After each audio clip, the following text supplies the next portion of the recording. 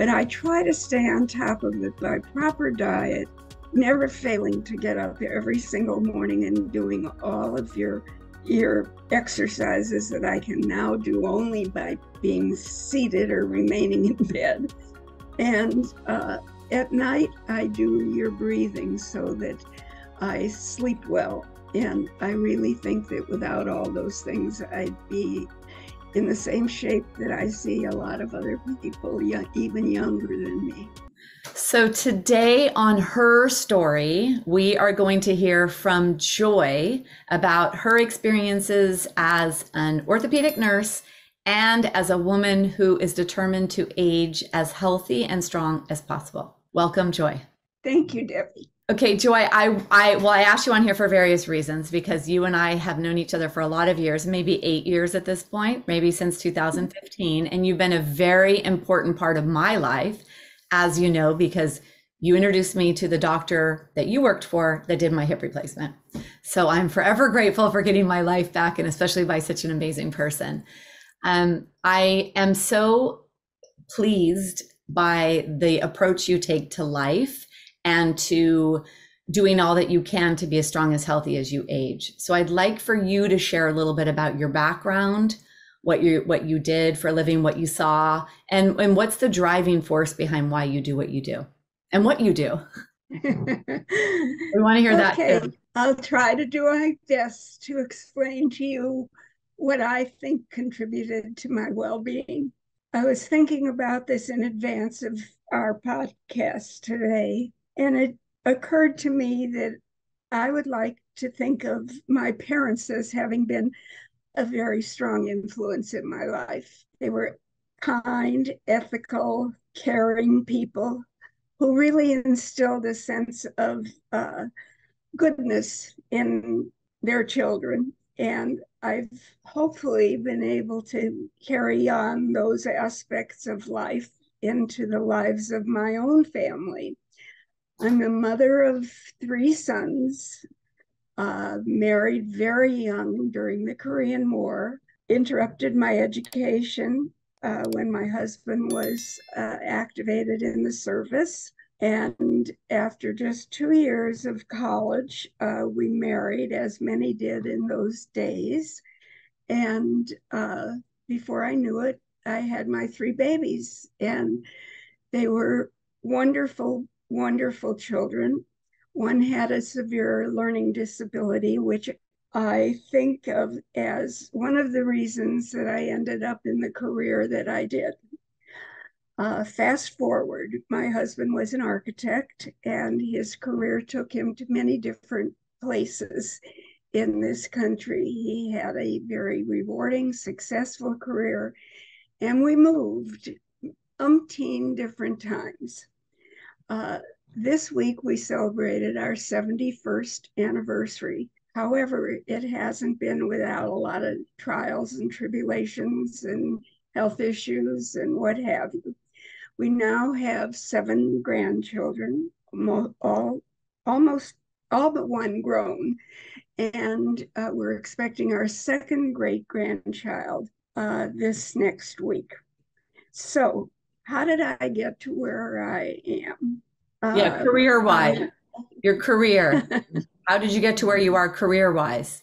Career wise, uh, my middle son, who was dyslexic and had a lot of medical issues, sort of forced me into realizing there was a, a medical world out there. However, even prior to that, uh, when I was in high school and in college, I volunteered in various local Los Angeles hospitals. I went to work when my youngest son was three, and I worked steadily until I was almost 80 in the field of medicine in one aspect of it or another.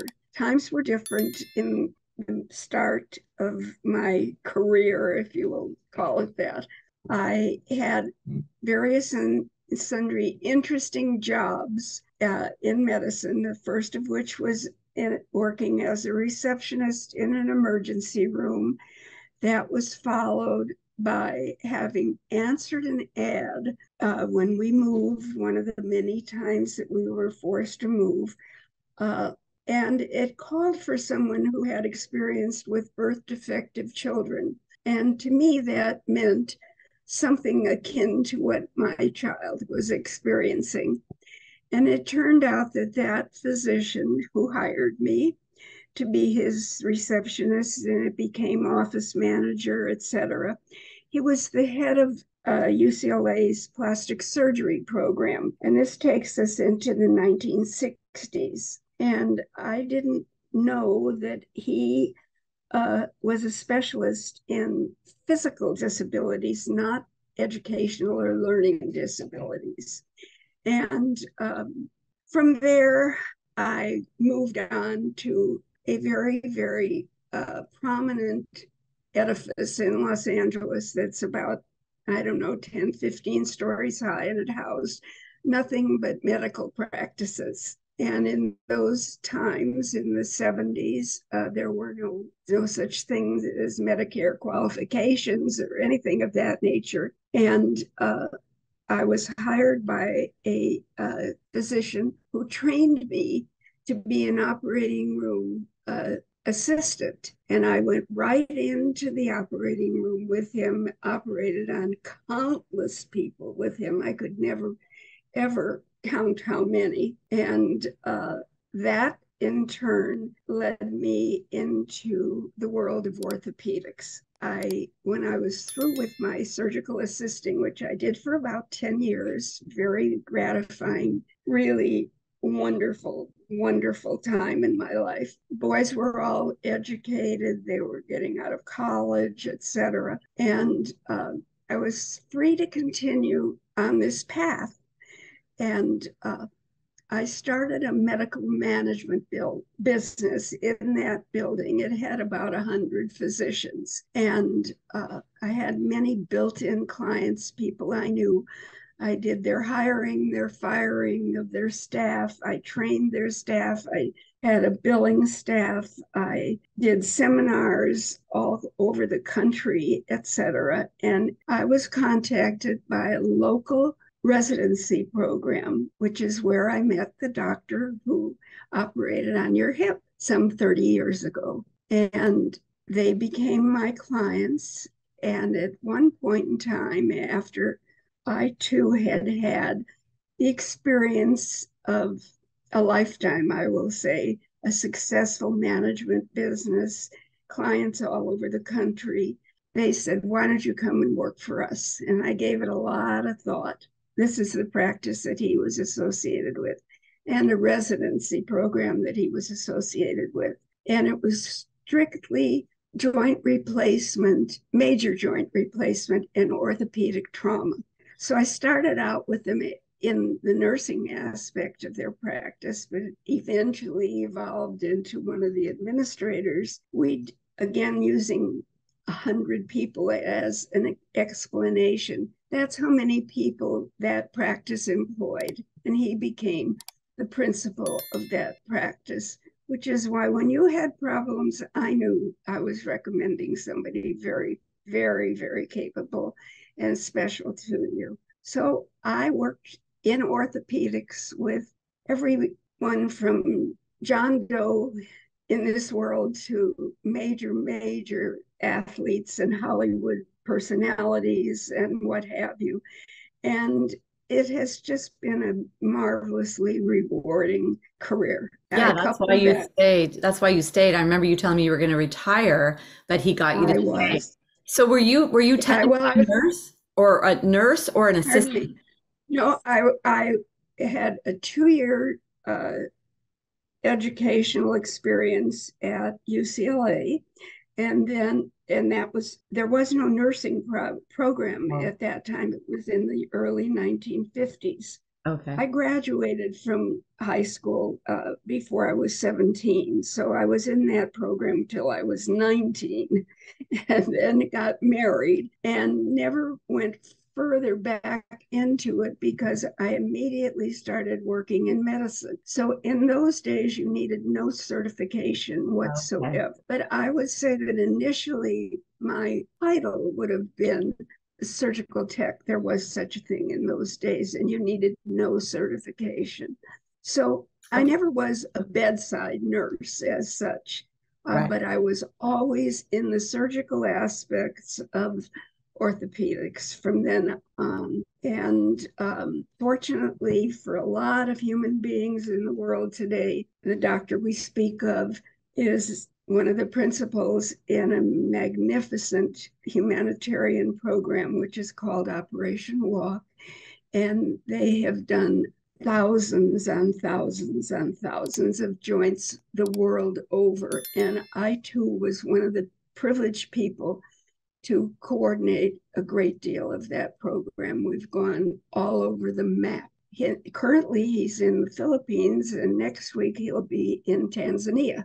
And they do 50 major joints, meaning hips or knees, uh, when on every mission and they do two missions a year yeah it's so, so amazing because joint health is critical to being happy being healthy in your body okay so uh, we've spoke a little bit. I asked you what did you observe when somebody w- when you were in an operating room? Like i asked you could you tell lifestyle factors? Was it apparent to you the lifestyle someone had and how relational did you feel that somebody their lifestyle was to where they ended up needing a replacement or whatever it was? Like what did you notice or what did you see? I wanted to know how the role of lifestyle and healthy living and degeneration in the body. So you told me some things you observed. Okay.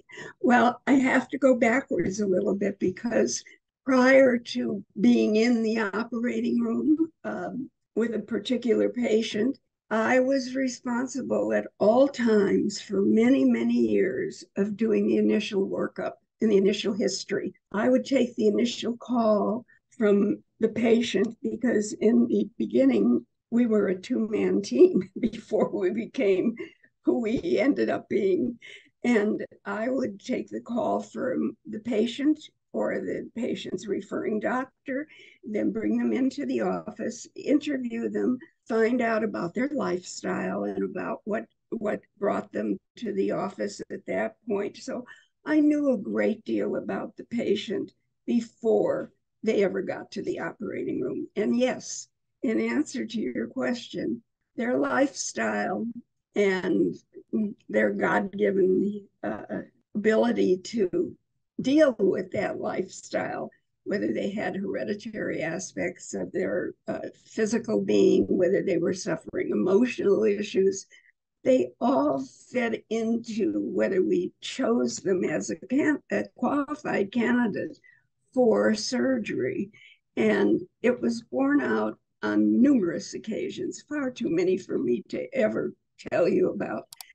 We knew in advance who had a deteriorated health system, body, etc., because they didn't live right. They didn't have the, uh, the opportunity to be healthy in the beginning. And we rejected many, many people because they were either heavy smokers, obese people, um, people who we didn't feel were sound enough to accept the challenges of major surgery. And this was all borne out the moment the knife went in. And I remember telling you at one point that a smoker was obvious immediately because the tissues in their body had a different consistency than the person who had better health habits. And the outcomes, therefore, were far more predictable in a healthy person. And we recommended to many, many patients that prior to going into surgery, that they elevate their standard of existence in terms of their diet, in terms of their exercise, uh, resolving any issues that were making them unhappy, or you have to be a whole human being to have a successful surgery. Yeah, I hope I answered some of that. No, you did. And then, do you think that that's informed you? Because I, you're going to be. Can we say your age? You certainly may. You will be 90 yes. in September, and so. Correct. And you just you're so healthy, and all the every time you go to a doctor, you've had a couple of mishaps over the years, some falls and some things. They're just yes. so in awe of you. So I, am I'm, I'm sure on some level that's informed you, seeing all that pain and suffering that you saw, because joints, knees, and hips such a painful existence. Um, and then, you know, for me, I do osteoporotic work. So hip fractures, the hip is hip is such an important area. Um, and so is that been part of what your driving force is? And tell me what it is you do. Like what's your mindset around staying healthy? Well, living a wholesome lifestyle, as wholesome as it can be at our age. Um, I still drive. At, at the moment, I'm told not to because I'm anticipating a second hip replacement, and the doctor is fearful that my leg will fail me at times. Uh, but I eat in a very conscious way. I've been fortunate enough to have warded off diabetes in its full form for since I was 35 years old. I was uh, told I was pre diabetic, so my carb intake is limited and my exercise is very important to me. And I still test every other day and I keep it at bay. So I'm very happy with how I've handled my physical well being. Emotionally, there are times when you can't avoid upheavals and things of that nature. And my husband hasn't been well on many occasions throughout our 71 years. But I've talked to myself and told myself that what's important is to stay strong physically and uh, as emotionally sound a life as you can live. Okay, so what, what is your ticket for what is your what are your what is your tools or what is your trick for staying strong health uh physically? I have told you many, many times you're one of my G's. And uh, I do everything you've taught me in the eight or nine years we know to one another. Prior to knowing you, I did take many a class in yoga, and I've probably done yoga since I was about 30 years old, and it was never uh, something I went to. I did it on a Saturday when I had time and then did it, at home. But I've always kept my body mobile. It, it failed me at times when I had to have major back surgery three times, and I've had a hip replacement. I've had countless other, as I hereditarily, I wasn't blessed with such great uh, medical situations. My father was diabetic and uh, also had a heart disease. I've had a lot of heart issues, but I try to stay on top of it by proper diet, never failing to get up every single morning and doing all of your your exercises that I can now do only by being seated or remaining in bed. And uh, at night, I do your breathing so that I sleep well. And I really think that without all those things, I'd be in the same shape that I see a lot of other people, even younger than me. Yeah. What about so you do you do yoga every day? You do physical something every day for your body? I wake up every morning and I do your hand situations, all everything you've taught with regard to wrists, fingers, shoulder girdle. I don't get out of bed until my body is mobile. Somewhere way down the line, years ago, a physical therapist told me that with my spinal issues, uh, I should never awaken and start my day without uh, using a heating pad for at least a half an hour so that the muscles in my spine would be relaxed. After I do your exercises and I do leg raises, I do zig wigwags, I do uh, opening up the chest cavities. That takes me about a good 15, 20 minutes in the morning. After I, prior to doing that, I do lay on the heating pad. And by the time I get up to brush my teeth, I feel very free in my body, which I don't think I would if I didn't do all of the things that you've taught me to do. Yeah, that's amazing. That's joint range of motion, fluidity in your body. And I think that's one of the things I observed the most and noticed myself when I had my hip issues is if if we don't use it, we lose it. And when we don't have that mobility, we don't have that joint range, range of motion, when everything is tight, it's very hard to move. And then it actually, things degenerate even more if you don't move. You know, you have less, if you don't move, you're able to move less. And when you're able to move less, you're not moving as much and you have more degeneration. So it's like this whole downhill spiral. I, yeah, I didn't think it's amazing that you, that that's a part of your daily routine. And, and I think that that's what I'd love for people to understand is that we have to take care of ourselves. There's no one else coming in to do it for us. It's not here, take this pill. Here is this supplement, or here is this thing. It isn't. It's a self care practice. And that's, you know, yoga to me is a self care practice. So, yeah, well, I'm just amazed at you, Joy, and Thank the state you. of your health. And then every time you have an ailment, you fall or you, you know, something is always happening. That's happened too many times of late. Uh, and I can't tell you whether it was that I wasn't observant of my surroundings or whether my limbs just weren't coordinated well enough. But senior citizens do fall. That's that's the fact. Yeah, they do. And, yeah, we're not going to stop that. You know what I would say? That you are bendable and not breakable. Thank you. Uh, I hope that that stays the way it it, it is uh, that I can continue to stay at that level for a long, long time. It, it, I'm blessed. I'm a great basketball fan, professional basketball, and we have operated on so many athletes I couldn't ever enumerate them for you. But they use an expression often that they're blessed. I've been told a hundred billion times that these guys were blessed to have met us. And I have to say that I am blessed to have been able to incorporate everything I've learned about healthy living into my own lifestyle. Uh, it, it's it's really made it a wonderful life. That's what I can tell you. All right. Well, thank you for sharing your story. I hope that other women are inspired to realize that every day, just even 15 minutes of keeping yourself lubricated and mobile is going to take you a long way to that 90. I always say, think of the number 100. We're going to live to 100. And how many more years do you have to live and what do you want them to look like?